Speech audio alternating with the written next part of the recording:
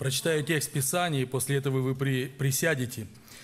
«И поставил на службу пред ковчегом Господним некоторых из левитов, чтобы они славословили, благодарили и превозносили Господа Бога Израилева». Аминь. Присаживайтесь, братья и сестры. Мы еще раз помолимся а, на начало этого служения и э, всего этого праздника, так скажем. 35 лет, срок не маленький, особенно когда мы в Америке живем, и мы знаем, на работу идешь, устраиваешься, спрашивают experience. Любое предприятие, к которому вы обращаетесь, чем больше длина лет, когда они начали, и до сегодняшнего момента, о, это имеет значение. 35 лет Институту духовной музыки, где брат Евгений Семенович со своей командой занимаются и организовывают служение музыкальное, певческое в церквях нашего братства. Это не ново. Когда-то Давид поставил ковчег, и при этом он сразу организовал музыкально-певческое служение. Для меня это удивительно. Муж Божий, имеющий близкие, личные отношения с Богом, думает о том, как организовать а, поклонение Богу, правильное поклонение – несколько слов, которые оттеняют это поклонение, которое было при Давиде. У него было четкое понимание, чего он хотел от этого музыкального служения. И мы прочитали с вами, прямо написано, чтобы они славословили, чтобы они благодарили и превозносили имя Господа. Другими словами, он каждому из них сказал, ты знаешь, зачем ты занимаешься этим служением? И он бы повторил эти три слова. К другому он обратился бы, ты сказал, ты знаешь, зачем ты здесь? И он повторил бы каждые эти три слова. Я знаю, зачем я здесь. Чтобы славословить, чтобы благодарить и чтобы превозносить имя Господа. Так вот, знай, зачем ты здесь. Это очень серьезно было в глазах его. Очень ответственно было, и поэтому даже не все могли туда попасть. Мы живем в другое время. Я вижу, как трудно в музыкальное служение людей найти. Мы перестаем служить, э, ценить служение вообще в церкви. Такое время пришло больше материальности, э, материальные ценности ценим, то, что нам сегодня важно, трудно находить молодых особенно людей, которые хотели бы быть хорошими регентами, посвященными хористами. Надо много убеждать для этого. В то время некоторые были. Я не знаю, каким образом отбор был, но все понимали, это привилегия – это не каждому дано. Они понимали, не каждого позовут туда. И те, кто там были, они понимали, это очень ценное место. Быть в числе некоторых из левитов. Один момент я только оттеню из этого текста Писания. Мне очень нравится слово, которое здесь написано. «И превозносили Господа Бога Израилева». Они славословили – они благодарили, и они как бы вот так брали и выше делали. И выше делали. И выше делали. Вы знаете, в, наш, в наше время, в наш век сказать так, когда, по крайней мере, иногда, когда я слушаю, ну так показывают в Америке, в кавычках, христианское пение – я иногда думаю, там не только разобраться, что о Боге упоминается. Мое впечатление иногда, что оно втоптано в грязь. Там есть божественные слова. Но при таком, простите, уродливом музыкальном оформлении, кажется, что оттуда его вытаскивать надо. И надо думаешь, как бы вытащить его оттуда имя Божие. А этот муж Божий, Давид, он думал о том, как его выше сделать а достойно ли прославлено имя Божие? А достойно ли я? Кстати, в этом случае, если вы знаете историю, он первую свою песню написал, первый псалом, который пели. И когда он с этими чувствами приступал к написанию этого псалма, который будут петь, он думал, а я достаточно достойно выразил о Боге или нет?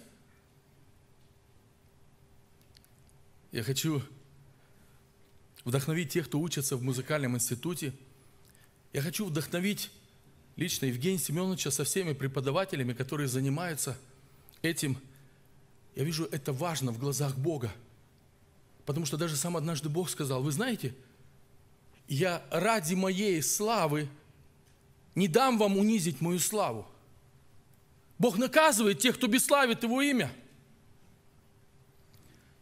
Конечно, сегодня, может быть, трудно оценить значение, в данном случае, вот этого библейского музыкального христианского института. Я много слов набрал. Потому что иногда только в истории оценивается. Когда израильтяне были в своей земле, жили все хорошо было. Бог хлебушек давал, водичку, столько давал, что ой много было. Не ценили.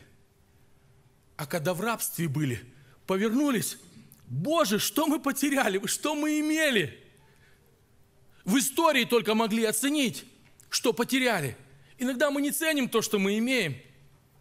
И поэтому я хочу сегодня ободрить всех, кто занимается музыкальным служением в церквях, ободрить к этому. Продолжайте делать это. Продолжайте. Подумайте об этом слове.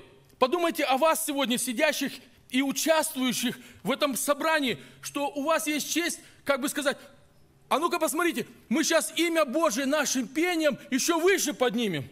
Оно достойно, чтобы еще выше поднять. Примерно как по ступенькам заходим, когда, а ну-ка, а мы сейчас еще выше хотим поднять имя Бога. Вот это внутреннее состояние, настроение, да не просто так, а бы как спеть. Мое желание, о чем он призывал и говорит, левиты, я вас выбрал, превозносите имя Божие. Представьте, какая честь, какая привилегия. На этой земле среди развращенного, греховного мира во всех сферах заниматься чем-то, что связано напрямую с Богом, это превозносить Его имя. Поэтому мое желание и поблагодарить лично Евгения Семеновича, и, как я сказал, всю команду, тех, кто работает в этом институте. Я уверен, что вы встречаете противодействие, мы это знаем. Я уверен, что вы встречаете унижение, да, что вы там со своей музыкой. Вот мы дадим вот мы выдадим.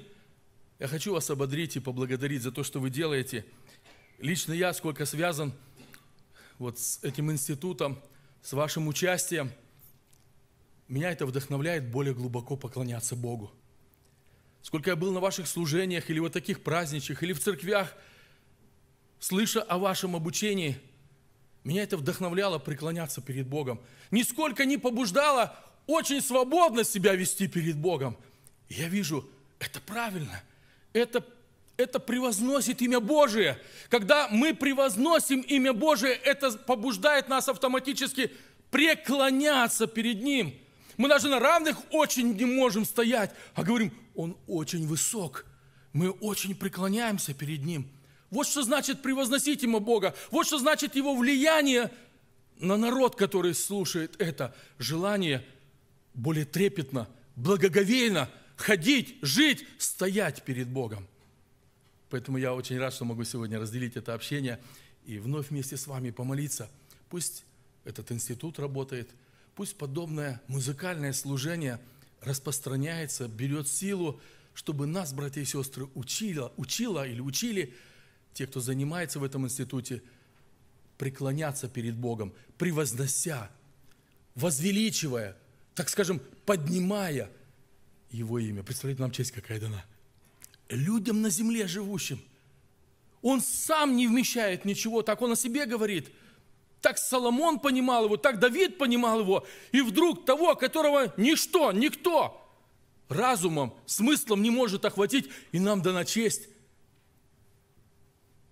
Вам дана честь превозносить это имя. Помолимся нашему Господу, встанем на ноги. Господь, мы сердечно благодарим Тебя и славим, что Ты великий, Ты Господь господствующих, Ты царь царей.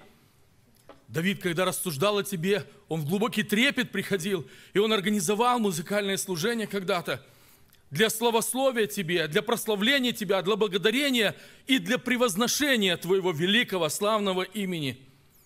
Господи, мы сегодня в наше время, братья и сестры, которые думают, так же, как благоговейно и трепетно превозносить Твое имя.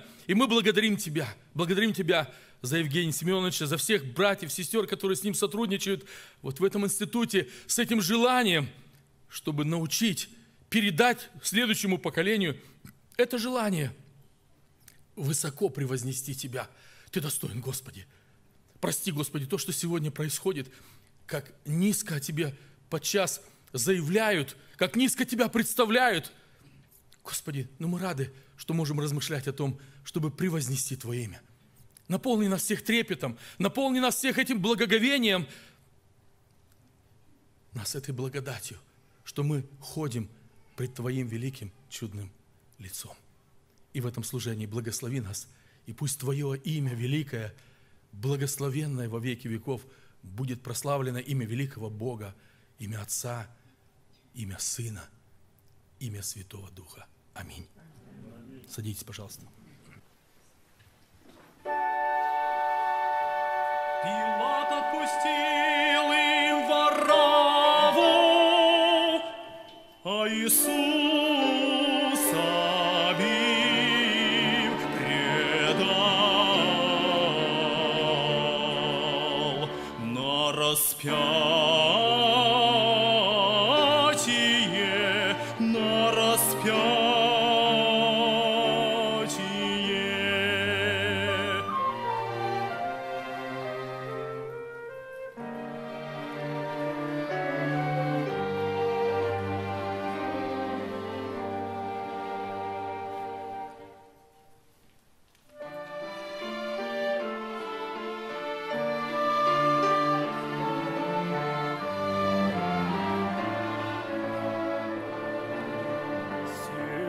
Te louve.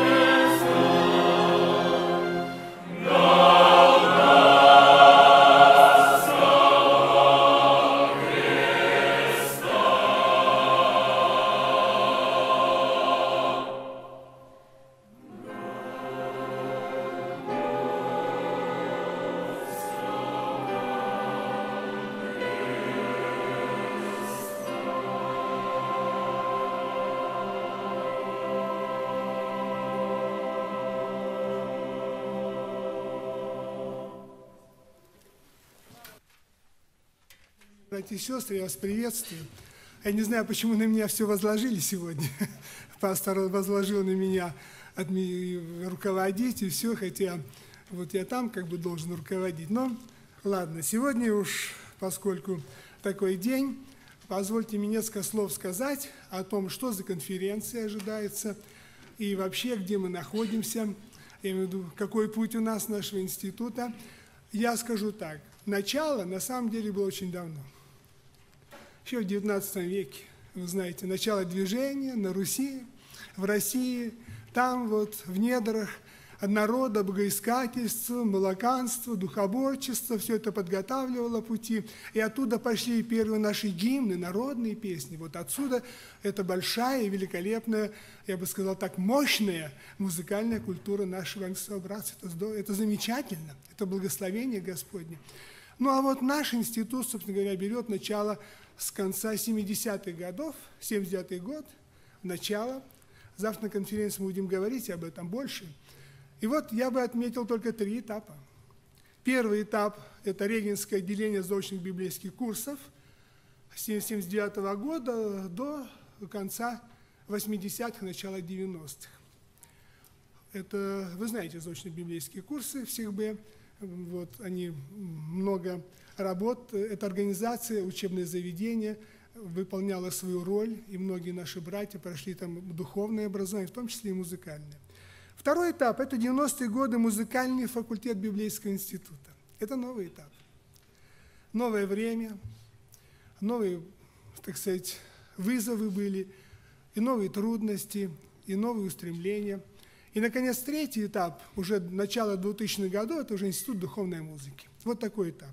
Я не буду говорить на эту тему, не об этом речь сейчас. Я хотел бы только напомнить слова из книги про Исаи. Вот эти слова, которые я прочитаю, они являются девизом нашего учебного заведения, сопровождают нас с самого начала нашего движения регенского, музыкального и начала нашей работы как учебного заведения или музыкального отделения регенского э, заочно-библейских курсов. Итак, 12 глава книга про Исаи, я прочитаю эти слова. «Господь – сила моя, и пение мое – Господь, и Он был мне во спасение.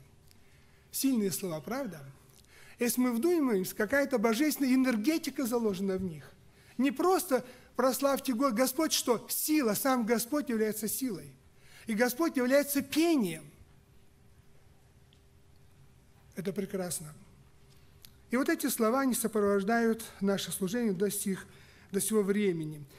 А, в последующих стихах этой же 12 главы мы читаем «Славьте Господа, призывайте имя Его, возвещайте в народах дела Его, напоминайте, что велико имя Его, пойте Господу, ибо Он соделал великое, да знает это по всей земле». Такие замечательные слова. И здесь вот согласно Исаии, основное направление в духовной музыке – это петь Господу.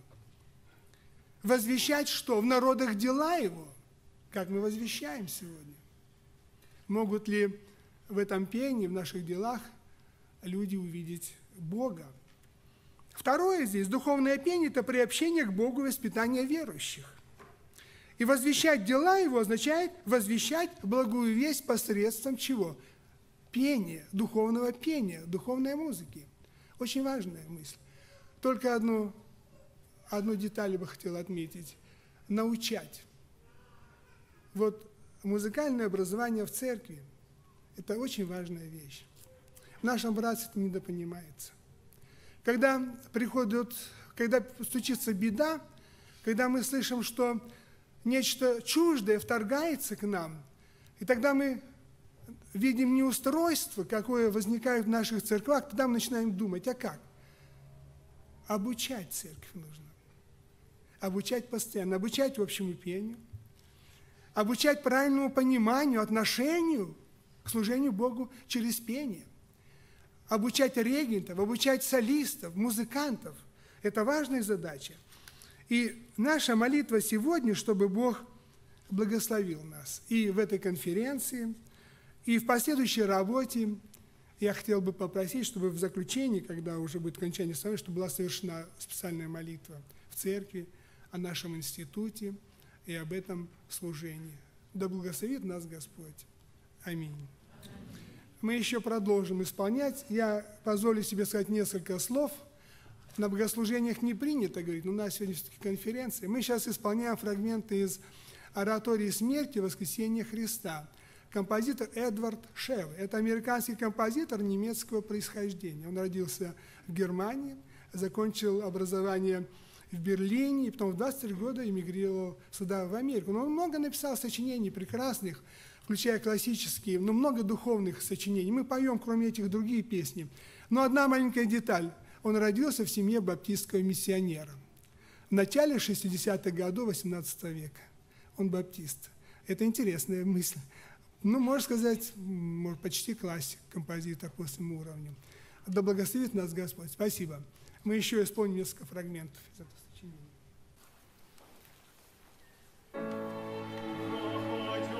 Проходящие же злословили его, кивая головами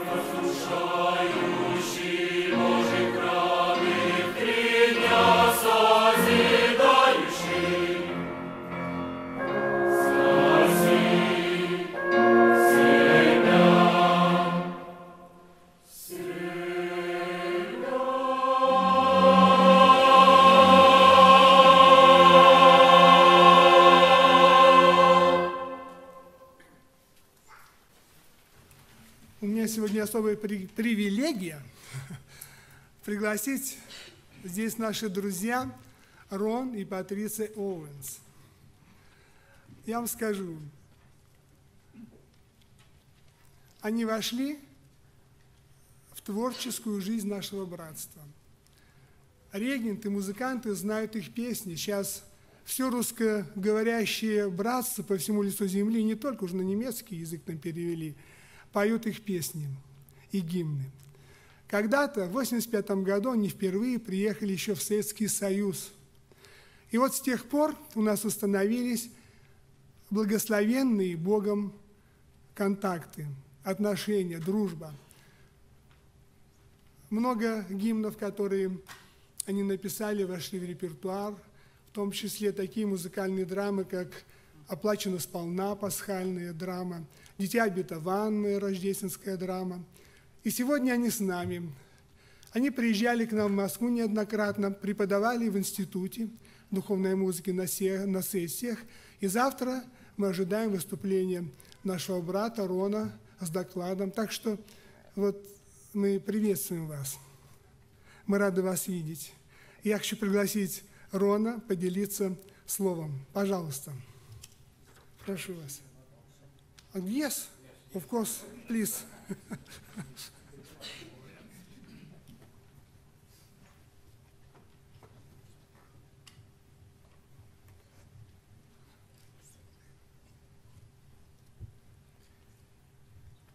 Jesus Christ. Приветствую вас именем нашего Господа и Спасителя Иисуса Христа. The hymn writer of the Bible said, Great is the Lord and most worthy of praise, Псалмопевец сказал, что достоин Господь всякой похвалы, for great is he, and praise him all the earth. ибо Он велик, и да прославит Его вся земля.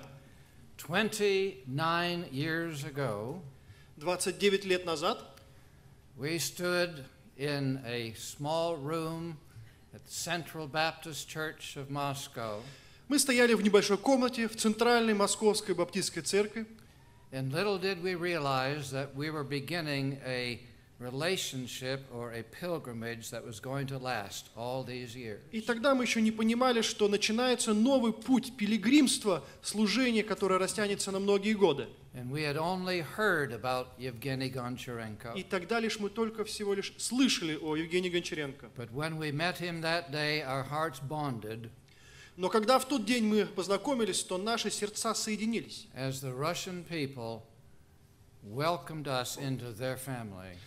И как русские люди, они пригласили нас в свою семью. It was the beginning of a very unexpected thing in our lives. Тогда совершилось начало для многих неожиданных вещей для нашей жизни. We found in our brother Yevgeny the desire to exalt the Lord in spite of many difficulties. И мы нашли, что сердце Евгения принадлежит тому, чтобы провозносить, превозносить имя Господне, несмотря на многие трудности. We did not realize that the Lord would open the door for us to return on other occasions and to begin to share some of our music with our brother. И тогда еще мы не понимали, что Господь откроет многие двери, чтобы мы после вновь и вновь возвращались в эту страну для того, чтобы открыть и наши дары и поделиться тем, что у нас есть. But God had something in mind that we didn't know about. Но Господь уже имел в виду нечто для нас, о чем мы еще не думали. And so today we come to celebrate with dear Yevgeny and Luda and Kirill all that God has helped them to do in these last years. И вот сегодня мы здесь э, прибыли для того, чтобы возрадоваться тому, что Господь позволил сделать в течение многих лет Евгению, Людмиле и Кириллу и многим другим.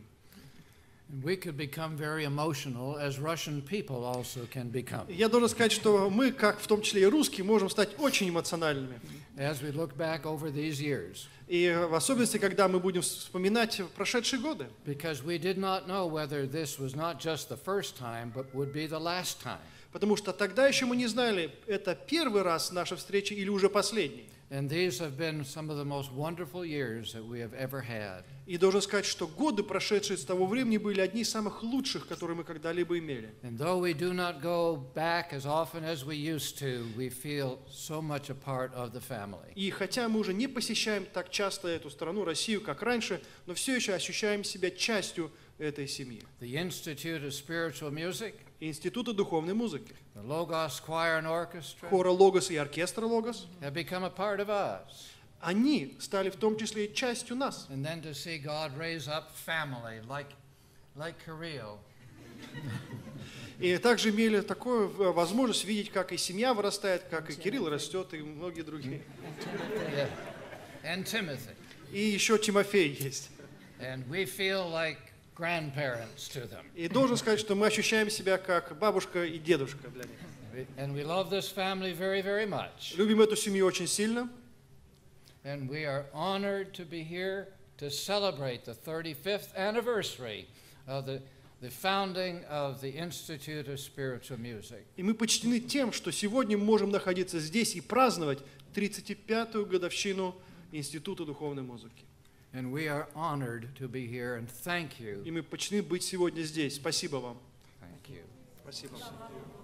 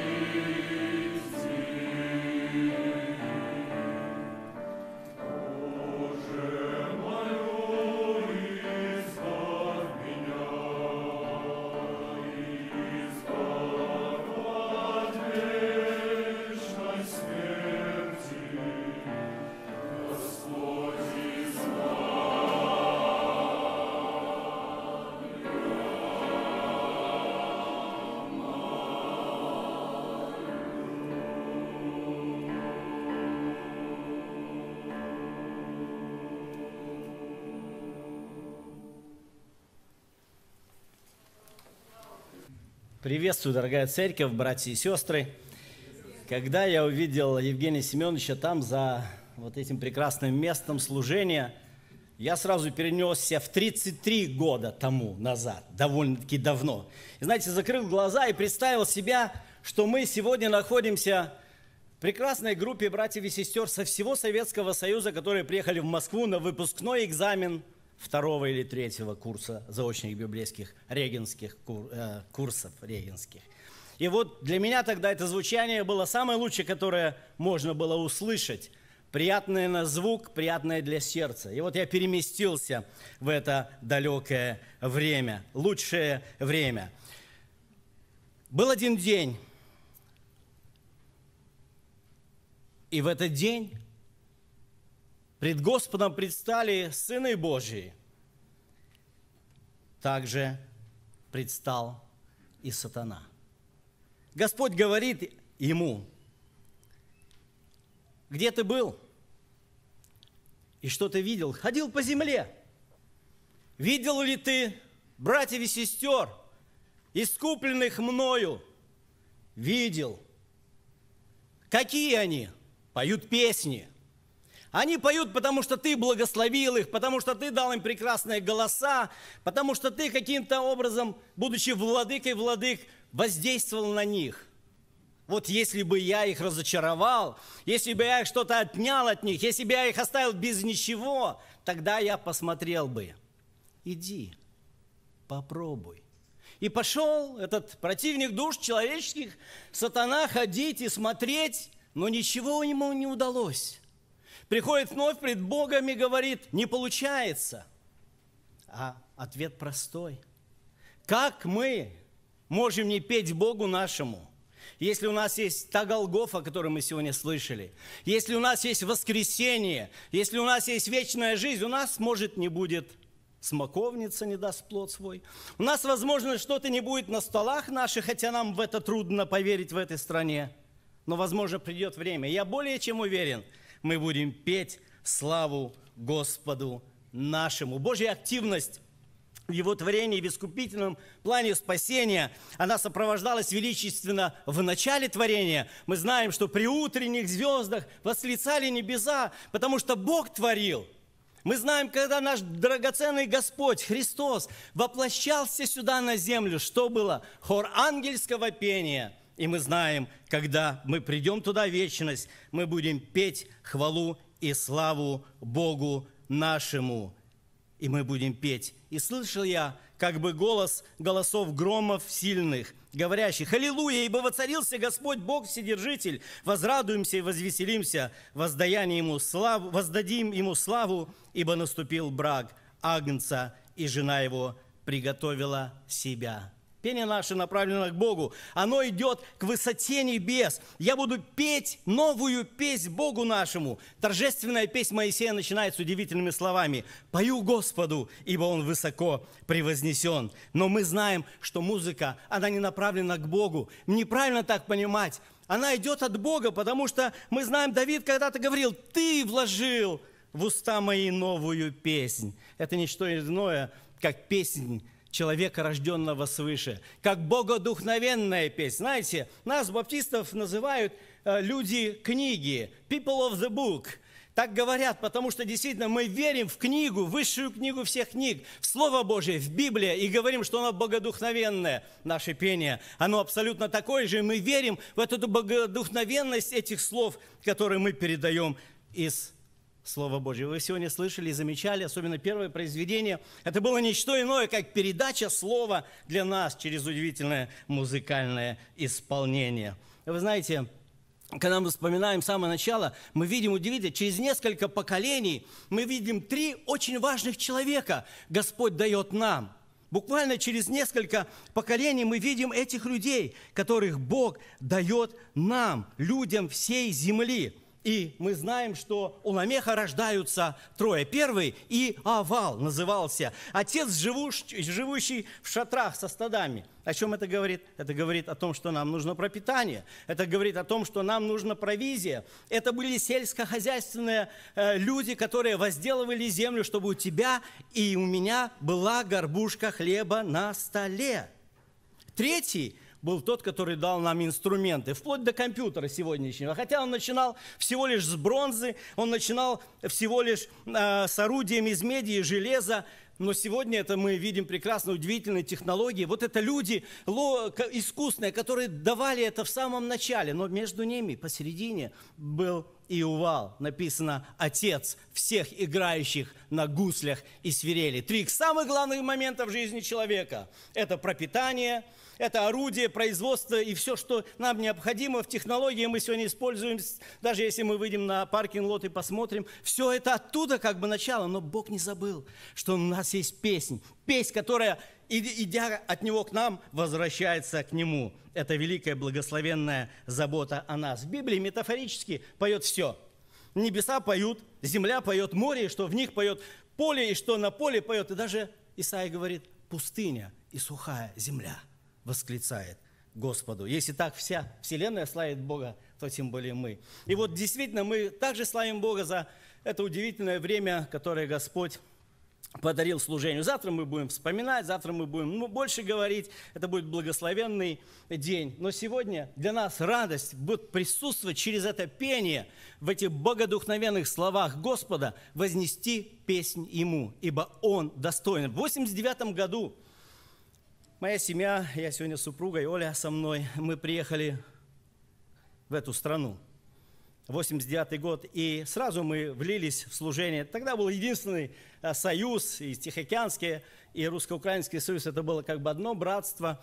И не так много было братьев и сестер. И мы, вот будучи, любя музыку, Оля аккомпаниатор, я, конечно, регент, потому что закончил библейские курсы, и в генах, наверное, что-то тоже было.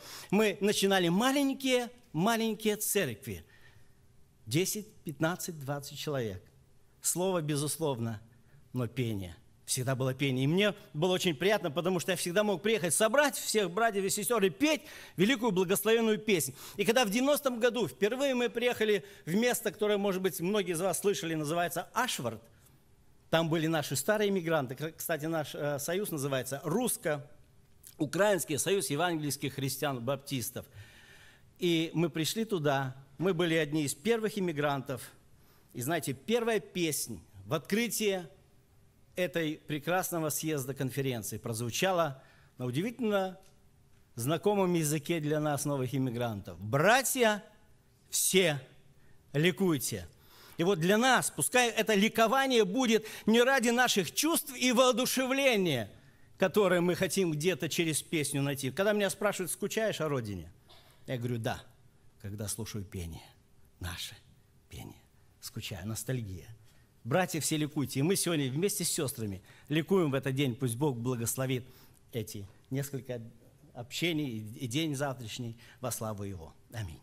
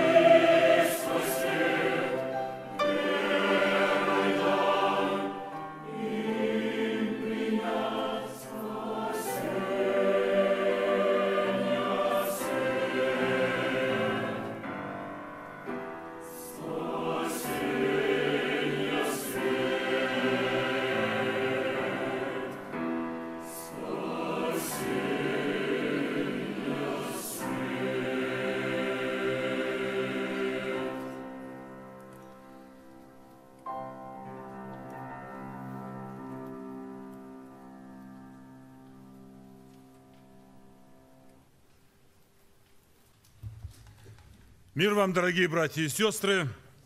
Приветствую всех любовью Господа. Вы знаете, э, как и все вы, пришедшие вот на эту конференцию, на эту встречу, я тоже ощущаю особое Божье благословение. Э, Я полагаю, что у каждого из участников сегодняшней встречи и последующих дней работы есть своя особая приятность.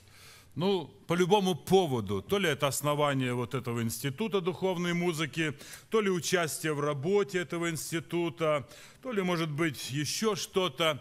Для меня сегодня тоже очень приятно вот быть здесь, глядя так на э, хористов, на музыкантов, и среди них, вот среди хористов, ну, видеть свою внучку. Вы представляете себе, да, вот насколько я старый стал? И знаете, вот эта приятность, она действительно от Бога, когда мы видим вот эту преемственность поколений, продолжение проповеди Евангелия, дела служения.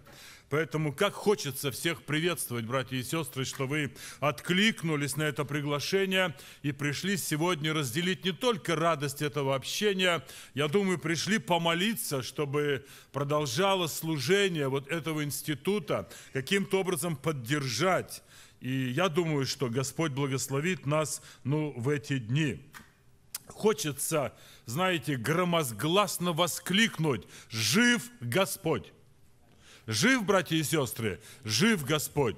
Мы с вами живем в такое время, когда определенные круги, определенные силы, ну, прилагают попытки каким-то образом вот хоровое пение, хоровую музыку церковную, каким-то образом ее отодвинуть и привнести что-то новое, что-то свое. И вы знаете, это напрягает и беспокоит служителей. Но сегодня, глядя на то, что совершаете вы, братья и сестры, хочется сказать, жив Господь, врата ада церкви не одолеют. И само название этого института – Институт духовной музыки. Вы чувствуете вот звучание этой нотки? Сегодня нам говорят, да не существует музыки духовной, недуховной. Вся музыка, музыка есть музыка. Замечательный институт духовной музыки – это за себя уже говорит о многом. Поэтому хотелось бы, чтобы братья и сестры, которые занимаются в этом институте, которые преподают, готовят музыкально-певческих работников для церквей, чтобы все студенты, которые посвящают себя на это служение, могли помнить, братья и сестры, вы не просто готовитесь играть в церкви, вы не просто готовитесь петь в церкви, вы не просто готовитесь, может быть, преподавать где-то потом на курсах, вы выполняете более сложную, ответственную задачу Господом, возложенную на вас. Я хотел бы, чтобы вот это понимание сегодня посетило ваше сердце. Ответственное очень ответственное служение, которое Бог на вас возложил.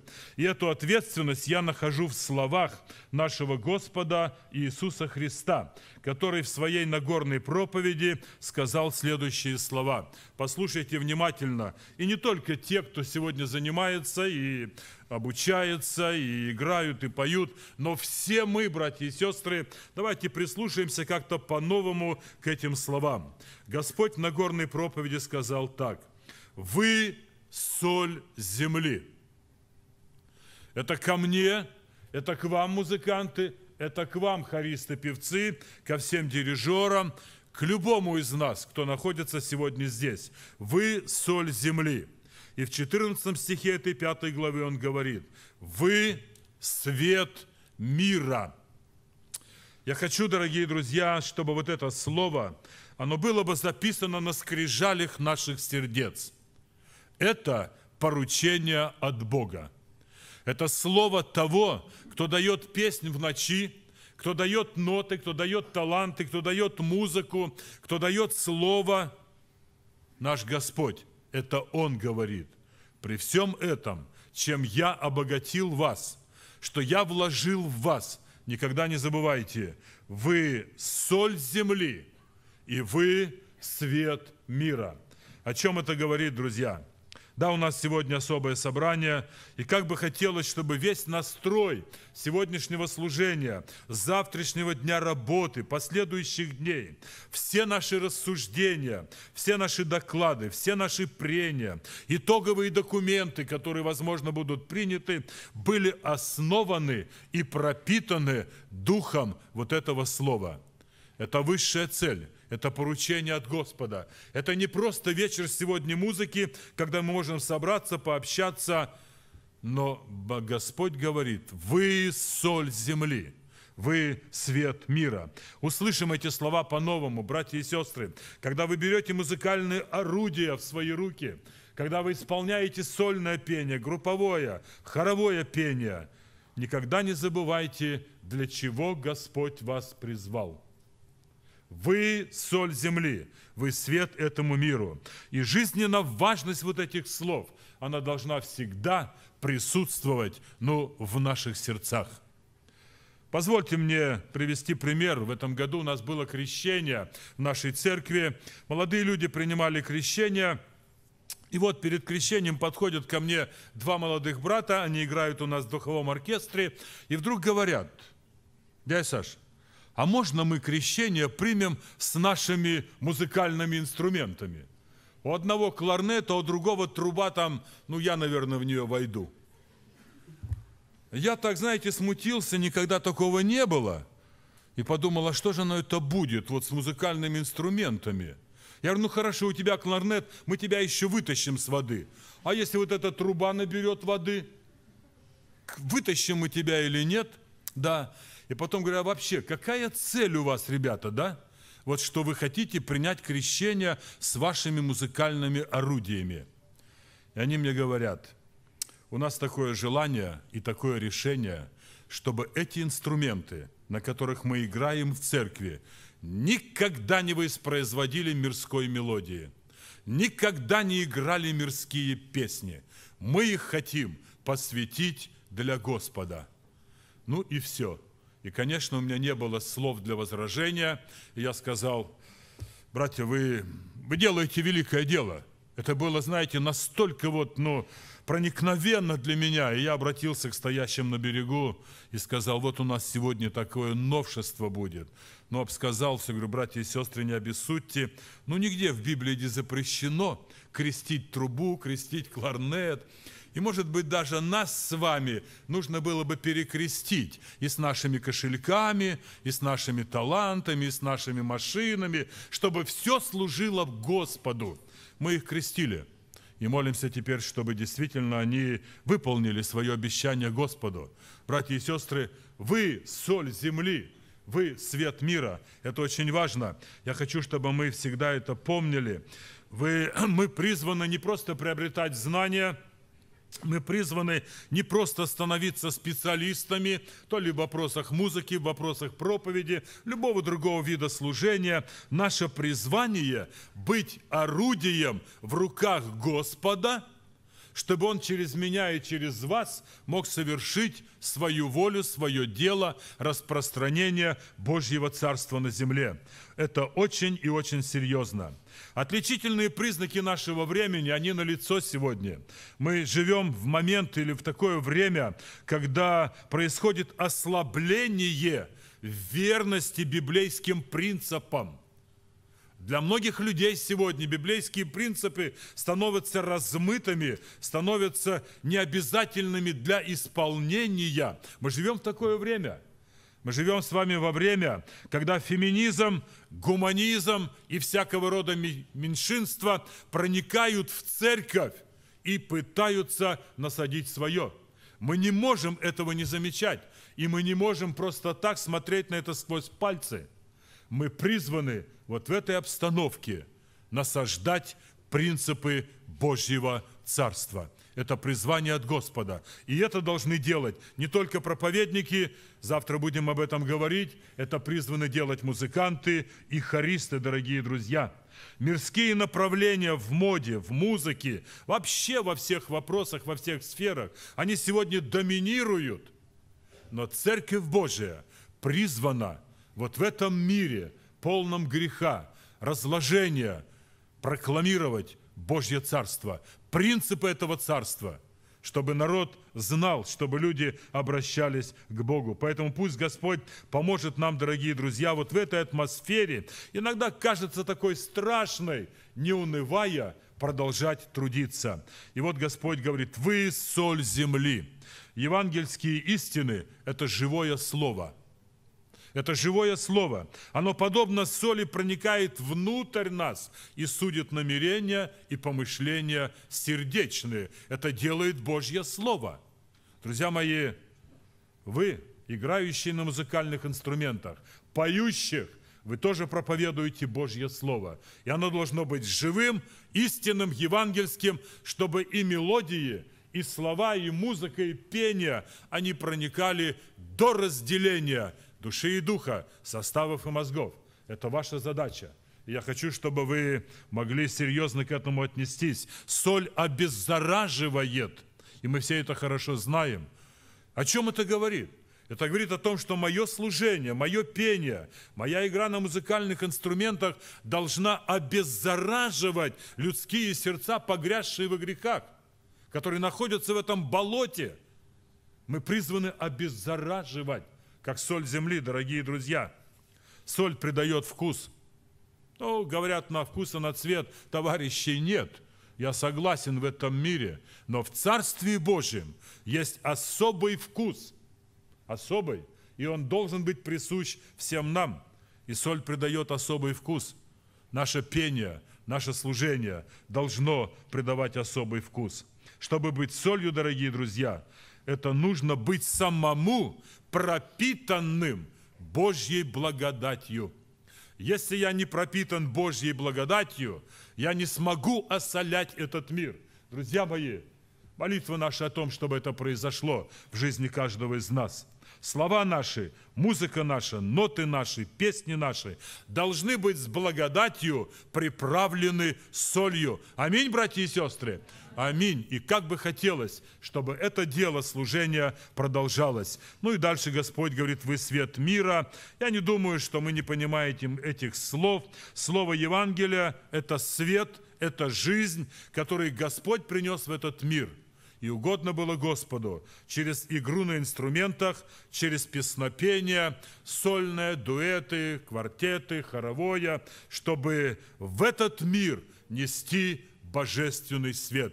Великая задача, дорогие друзья. И хотелось бы, чтобы мы вот в эти предстоящие дни об этом размышляли, об этом думали, об этом молились и исполнили бы Божью волю. Итак, пусть эти слова сопровождают каждого из нас. Они очень серьезные, они сказаны Господом. Это поручение для нас. Вы, друзья, не просто музыканты, вы соль земли, и вы свет мира. Пусть Господь вас в этом благословит. Аминь. Аминь.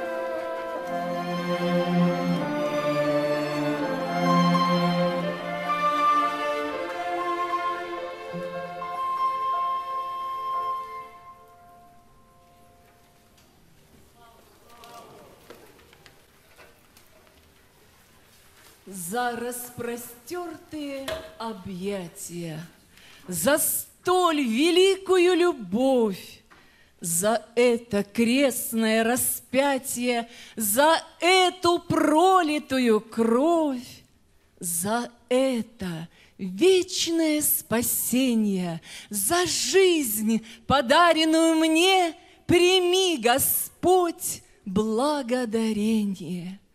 Храню в сердечной глубине признательность мою дочернюю и восхищаюсь, и люблю. В час утренний, порой вечернюю благодарю, благодарю, и не хватает слов молитвенных, ищу слова я вновь и вновь, а пред глазами гвозди вбитые в любовь в любовь, в любовь, в любовь. Слов нужных нет. Стою в молчании. Стою по милости Христа среди спасенных. О, случайно ли, так не молчите же уста, Хочу направить я к распятию и сердца стук и шепот уст за распростертые объятия, за кровь святую Иисус, за радость и грехов прощение, о, сколько ты мне подарил. Прими, Господь, благодарение, благодарить не хватит сил, как к древу что от крови красное душой спасенной припаду. Слова простые и прекрасные я обязательно найду.